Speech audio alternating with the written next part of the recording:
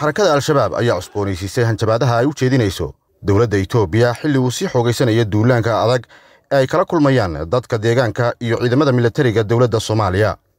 Iyada oo lagu wado in ciidamada midowda afrika ee admas ay si buuxda uga baxaan soomaaliya dhammaadka sannadka labada kun iyo afar iyo labaatanka ayaa ay u badan tahay in al-shabaab ay sii xoojiso ama sii xoojinayso weerarrada ay ka fulinayso deegaanada ay gacanta ku hayaan. Ciidamada nabad ilaalinta u jooga soomaaliya ee afrikaanka iyo milatariga soomaaliya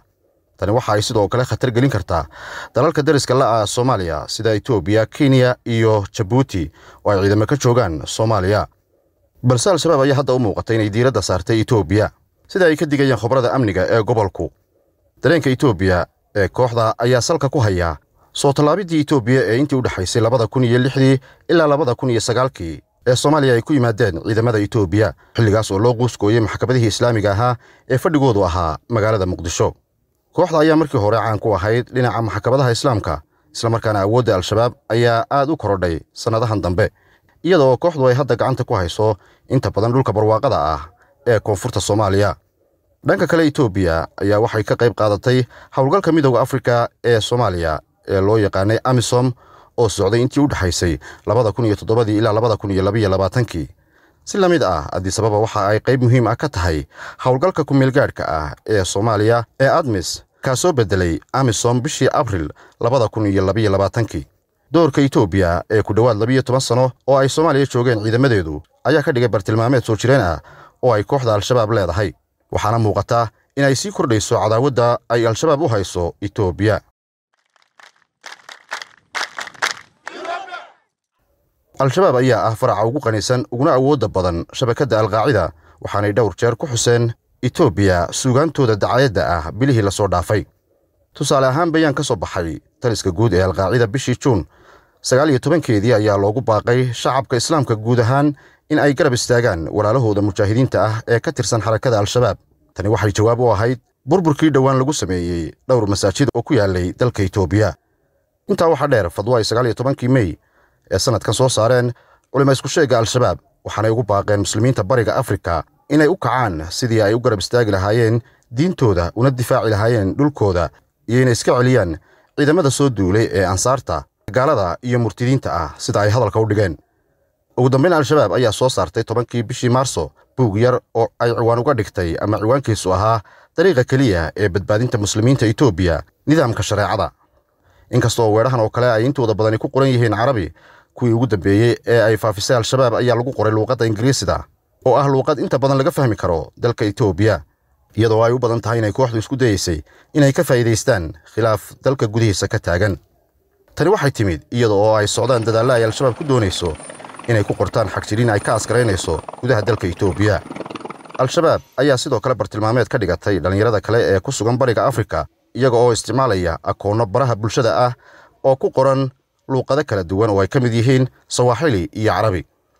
Howlgalka ciidamada afrika ee admis ee soomaaliya ayaa kala baxay dalka bishii juun laba kun oo askari kuwaas oo ka mid ahaa laba iyo labaatan kun oo askari oo ka jooga dalalka afrika soomaaliya. Waxaanay qorshaynayaan in saddex kun oo kale ay kala baxaan bisha sebtembar ka hor inta aanay si buuxda uga bixin soomaaliya marka la gaadho koob iyo soddonka disembar labada kun iyo afar iyo labaatanka inkasta oo doorka rasmiga ah ee howlgalka admis uu yahay xasilinta dalka ay dhibaatadu ka taagnayd sannadihii ugu dambeeyey ee bariga afrika ku yaalla ee soomaaliya haddana waxaa la qorsheeyey in mas'uuliyadda amniga lagu wareejiyo dowladda federaalka ah ee soomaaliya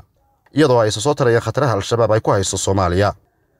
Sannadkii labada kun iyo labaiyo labaatankii waxa uu ahaa sannadkii ugu dhimashada badnaa dalka tan iyo labada kun iyo siddeed iyo tobankii. Sababtaas awgeed mid ka mid ah mas'uuliyiinta soomaaliyeed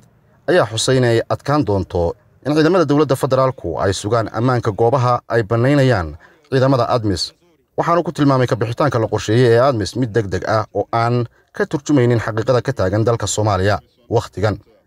Iyadoo weli ay taagan yihiin hanjabaadaha kooxda ee ku socda etoobiya islamarkaana ay sii kordhayaan weerarrada ay ku qaadayso al-shabaab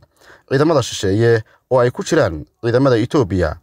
labadii maarso etoobiya ayaa ogolaatay inay soomaaliya u dirto kun askari oo dheeri ah oo ka baxsan doorka ay ku leedahay howlgalka admis.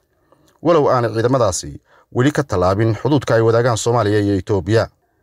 al-shabaab ayaa sidoo kale sannadkii la soo dhaafay si weyn diiradda u saartay weerarro ay ka fuliyaan xadka etoobiya iyo soomaaliya ay wadaagaan. Siddeeddii bishii juun ciidamada etoobiya ayaa fashiliyey weerar ay al-shabaab ku qaaday degmada doolow ee ku taalla xadka u dhexeeya soomaaliya iyo etoobiya waxaana la sheegay in dagaalkaasi ay ku baabi'iyeen rag doonaya inay isku qarxiyaan fadhiisin ciidan islamarkaana ay burburiyeen hubkii al-shabaab ay dagaalka ku soo gashay inkasta oo ay al-shabaab u suuro gashay inay laba weerar oo dheeraad ah ku qaadaan fadhiisimo ay ciidamada etoobiya ku leeyihiin magaalada doolow haddana lama oga khasaaraha ka dhashay weerarradaasi. Sababtoo ah etoobiya ayaa si sare u xadida dhammaan xogaha howlgalladeeda militari ee soomaaliya ka socda.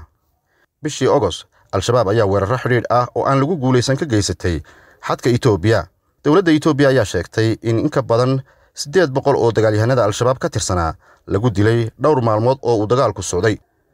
gunaanadkii taariikhda soo jireenka ah ee ah in etoobiya ay xoog ku joogto soomaaliya oo laga dheehan karo ballanqaadkeeda ah. Durba in ay bixiso ciidamo dheeraad ah oo ka baxsan doorkeeda admis ayaa ka dhigaya bartilmaameed sarreeya oo ay kooxda al-shabaab ka leedahay meel ka baxsan soomaaliya. Halka la sheegay inay kooxdu fahamsan tahay in in ka badan toban sano iyo badh oo faragelin shisheeye ah iyo awoodda ugu badan ee dalalka deriska ahi ay tahay ta etoobiya islamarkaana ay caqabad weyn ku tahay ama ku noqon doonto dadaalka ay al-shabaab ugu jirto inay gacanta ku dhigto guud dalka soomaaliya. Awoodda ay dowladda federaalka soomaaliya ku maamuli karto dalkeeda kadib ka bixitaanka admis ee la qorsheeyey labada kun iyo afar iyo labaatanka ayaa ah mid su'aali ay ka taagan tahay sida ay qabaan khobarada amnigu. In ay na soo gaarsiiyaan inaan annagu isku filnaanno oo ciidamada soomaaliya kala wareegaan ciidamada amisom waxaa koosgareeyey walaalaheenna afrikaanka oo dhiiggooda noo daadiya oo noo yimid inay cadowga argixisada naga dhiciyaan. Arrinta kale ee mudnaanta leh ayaa ah xadka baaxadda weyn ee etoobiya ay la leedahay soomaaliya waxaana inta badan deggan soomaali iyo oromo muslimiin ah kuwaas oo leh taariikh soo jireen ah oo leh dareen gooni isu taag sida ay khobaradu sheegaan. Arrimahan ayaa suuragal ka dhigaya in etoobiya ay wajahdo dagaal daba dheeraada oo ay la gasho kooxda mitidiinta ah ee al-shabaab bilaha iyo sannadaha soo socda haddii ay taasi dhacdo dhankeeda al-shabaab waxay istustay inay diyaar u tahay inay ka faa'iidaysato fursad kasta oo suurtagal ah oo ay ku wiiqi karto ammaanka gudaha etoobiya oo hadda u nugul colaadaha gudaha iyo kacdoonnada sokeeye